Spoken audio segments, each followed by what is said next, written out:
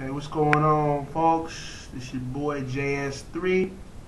I'm about to do just a little something, nothing too much, but you know, me and my guy Aaron Esparza in here about to do something, so you know, enjoy.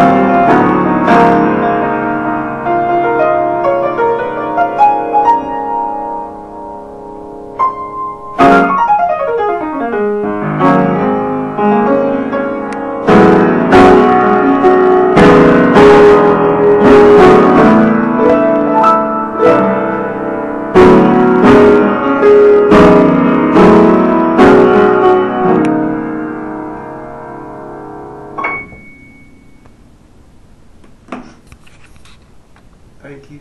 God bless. Stay encouraged. Keep practicing. Never stop practicing.